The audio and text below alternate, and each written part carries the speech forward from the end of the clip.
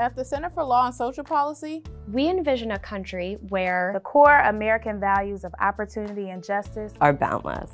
All children, including children of color, are thriving and not in need. Families and individuals are economically secure and able to move up with access to affordable health care, nutrition, and childcare. Working people are paid a living wage and have paid sick days, paid family and medical leave, and fair schedules. Immigrants and their families are welcomed. Their contributions are recognized and celebrated. And they have access to the supports necessary to succeed. The legacy of racism and the policies that perpetuate it are dismantled and we right the wrongs of the past and unlock opportunities for present and future generations of color. With a half century of expertise and successes behind us, CLASP is working to advance a vision for America rooted in economic security and that places the lives of people with low income and people of color front and center. Today, people with low incomes face greater threats than ever before. Congressional and administrative proposals endanger core federal programs that help people meet basic needs